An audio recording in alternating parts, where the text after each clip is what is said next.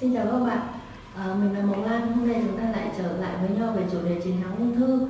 À, như các bạn cũng biết rằng là um, ở Việt Nam chúng ta thì gần đây có rất là nhiều bệnh viện ca à, như ở Hà Nội thì có K1, K2 và K3 ở tất cả các tỉnh trên toàn quốc là 63 tỉnh gần như là tỉnh nào cũng có bệnh viện và có khoa ung biếu hết vậy thì chúng ta sẽ thấy rằng cái việc um, ung thư nó đã trở thành đại dịch ở Việt Nam và rất nhiều người mắc bệnh ung thư.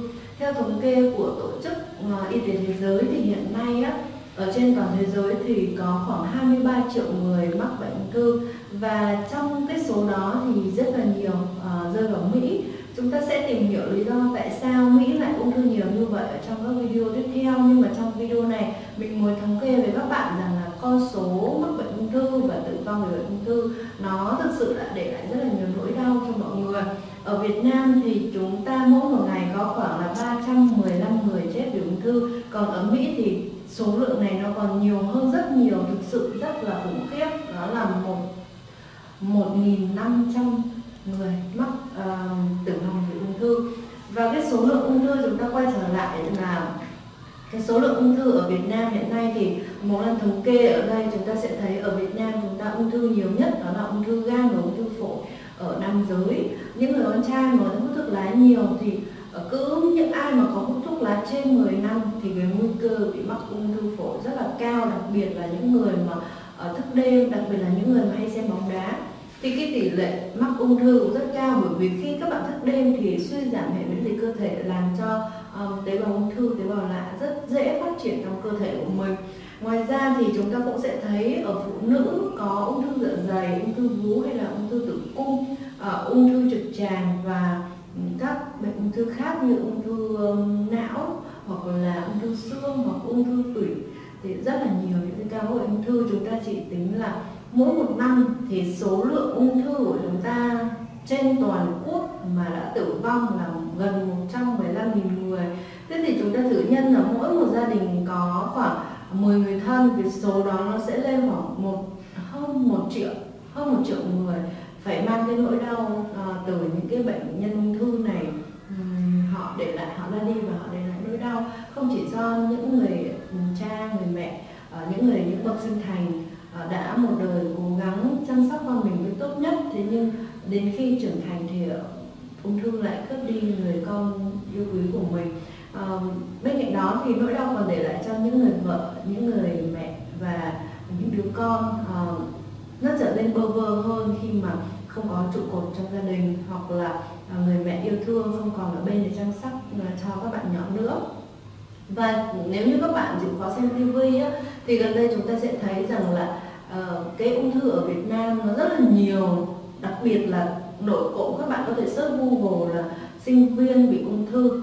Vậy nguyên nhân nào dẫn đến sinh viên chúng ta gần đây là bị ung thư rất là nhiều? Những bạn đang rất là nhiều ước mơ hoài bão ở tuổi trẻ. Ờ, rất nhiều những cái kỳ vọng về tương lai. Ờ, rất nhiều những cái um, ước mơ trong cái giảng đường đại học. Nhưng các bạn cũng không may đã bị ung thư.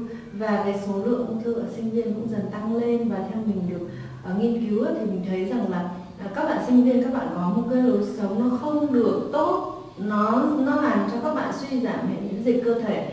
Và ở đây chúng ta sẽ thấy những cái vấn đề ở sinh viên đó là mà các bạn ấy sẽ uh, thức đêm này uống rượu uống bia hút thuốc lá và thậm chí rằng là ăn những cái đồ ăn không được đảm bảo uh, về mặt uh, an toàn thực phẩm. Uh, dẫn đến rằng cái tỷ lệ ung thư uh, gần đây là trẻ hóa rất là nhiều.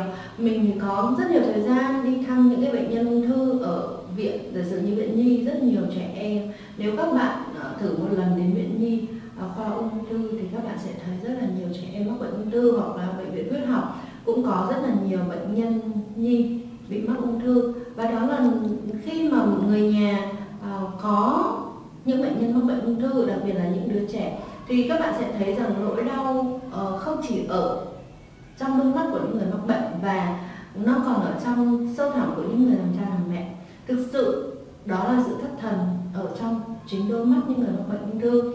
Và cái việc mà làm sao để chiến thắng ung thư thì mình cũng đã có một thời gian dài uh, đọc tìm hiểu và nghiên cứu về cái nguyên lý um, làm hệ miễn dịch trong cơ thể và tế bào ung thư lại nó vào.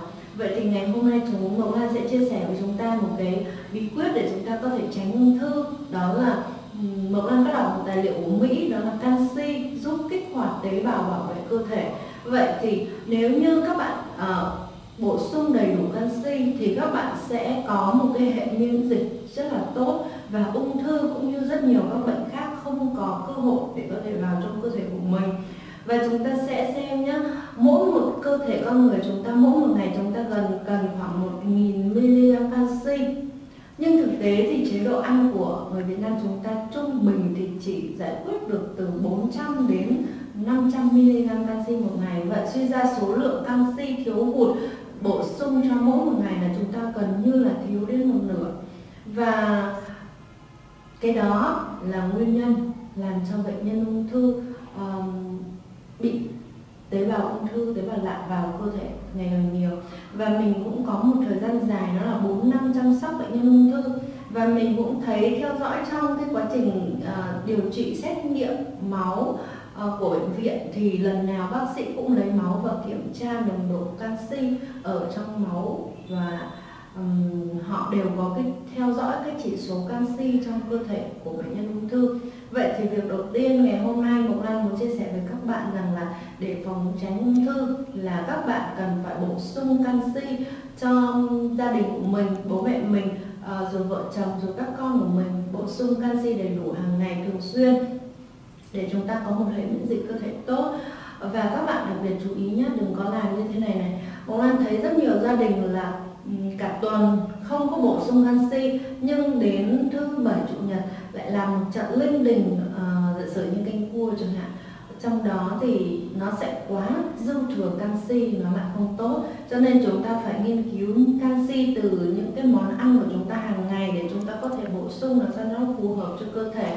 Đặc biệt là canxi từ thực vật các bạn có thể ăn rau dền cơm rất là nhiều canxi. Các bạn cũng có thể là um, bổ sung những cái muối vừng có những hạt có kê thì cũng rất là nhiều canxi. Và các bạn cũng sẽ có thể là um, bổ sung từ những cái rau củ quả mà có nhiều canxi để cơ thể chúng ta hấp thụ canxi một cách tốt nhất và tự nhiên nhất. Uh, nó sẽ tốt hơn cho cơ thể chúng ta. Và cái chủ đề hôm nay Mộc Lan rất mong muốn và rất